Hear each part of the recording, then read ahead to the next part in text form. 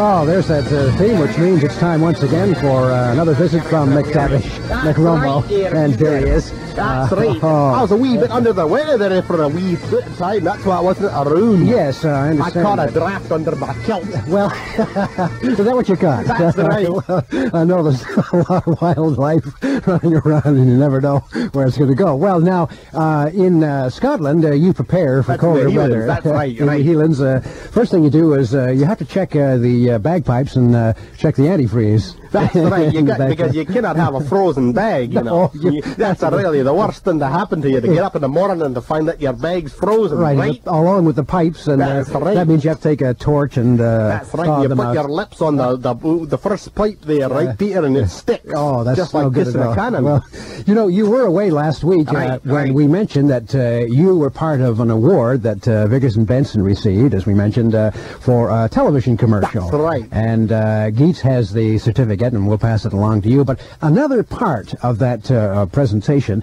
was something that I forgot all about, and. Uh, I have it right here. oh, that's right. It's been here for a week. I forgot all about it, but they sent up some uh, skinless Scotch canned haggis. That's And gross. You could, you, that's what I thought too. But there it is. It has a pink and yellow and uh, black Yeah, flag. yeah. Yeah. You take that You home did not and. uh, find that near McDonald's, do you? no, I don't think so, unless it's to hold the door open.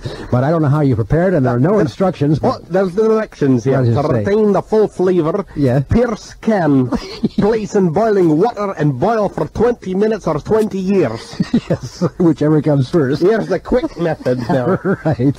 What's the quick method? Empty contents into saucepan and simmer to required heat. yes. Then drink one bromo. right, and beat with stick if still alive. Well, there it is. I want you to take that home and sample some of that, uh, McTavish, and then come back and report on uh, the uh, taste of uh, canned haggis. That's Uh, Grant skinless Scotch haggis. oh, yes. That really says it, doesn't it? does. wonder if you can make a haggis burger out You know, of that's that. the only kind of food that you do not can get botulism from. Is that right? That's right. Because it already is uh, or something. But I want you to sample that, and That's uh, right. That's uh, something handy to have on these uh, cold mornings when you want to begin the day. Well, if you have a longer kilt on, of course, uh, the cold weather kilt. Canned which in is- 1827. It says right here. Is that what it says? Yeah.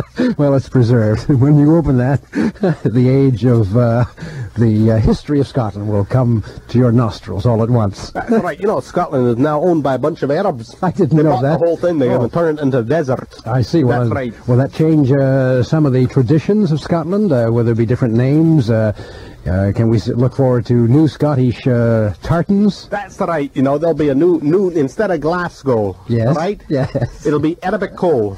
What? Arabic coal. All right. well, McTavish, you look dressed uh, for uh, colder weather. That's with right. The longer kilt. That's right. And uh, it's fur-lined inside there. That's Uh, fur lined so yeah. that I, when I sit down on my board there, Yeah. right away I do not worry about sitting on a cannon and sticking. Right, of course. Uh, now that looks kind of formal too, with the full-length uh, kilt.